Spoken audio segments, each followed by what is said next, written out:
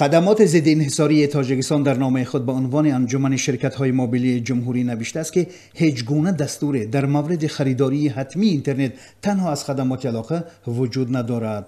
تقریبا یک ماه قبل چهار شرکت موبیلی در یک مراجعت از خدمات ضد انحصاری تاجیکستان پرسیدند که بر اساس کدام قانون تاجیک تلکام یک شرکت متعلق به خدمات علاقه باید تامین کننده یگانه اینترنت در کشور باشد. غفور ارکایف رئیس انجمن شرکت های تاجیکستان روز سوم اپریل بر رادیو آزادی گفت هفته گذشته از مقامات خدمات ضد انحصاری در زمینه نگرانی هایش از اختیار بیشتری خدمات علاقه در زمینه فروش و تقسیم اینترنت پاسخ خطی گرفت. به گفته غفور ارکایف در نامه جوابی به آنها از طرف خدمات ضد انحصاری آمده است که هیچ گونه دستوری برای خریداری حتمی خدمت اینترنتی تنها از طرف تاجیک تلکام داده نشده است. همصحبت ما می‌گوید این به معنای است که غیر از شرکت تاجیک تلکام چهار شرکت دیگری ارائه کننده خدمات اینترنت در تاجیکستان نیز حق دارند از خارج اینترنت خریداری کنند. روز سوم اپریل نمایندگان مقامات خدمات علاقه و ساختارهای مربوط به آن برای شرح این موضوع آماده نشدند.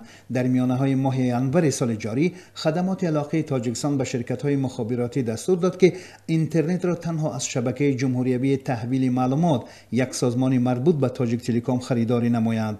تاجیک تلکام در نوبت خود شرکت زیرتابه خدمات علاقه تاجیکستان است. مسئولان خدمات علاقه ماه ینور ضمن نشست خبری با حمایت از این تصمیم گفتند که دریافت اینترنت تنها از تاجیک تلکام به خاطر تامین امنیت است.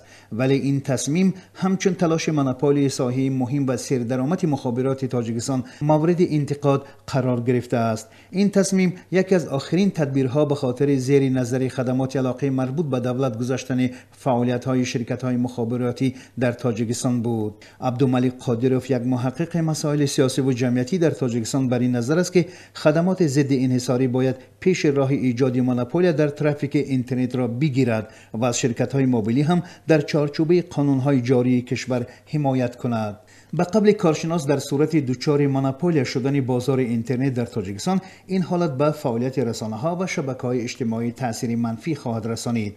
به باور پروینه عبادی کارشناس مسائل اینترنتی اگر واقعا خدمات ضد انحصاری در پاسخ به اساسات شرکت های موبیلی گفته باشد که دستور تاجیک تلکام در مورد اینکه تنها خریدار اینترنت می باشد اساسی ندارد یک قدم به پیش می باشد به گفته پروینه عبادی تاجیکستان عضو سازمان جهانی تجارت می باشد به این سازمان به تاجیکستان چند توصیه داده است و یکی از آنها این است که باید خدمات علاقه همچون نهادی دولتی فعالیت شرکت های را نظارت برد نه اینکه با شرکت های خود تاجیک تلکام تاجنت وارد بازار اینترنتی شده و رقابت کند.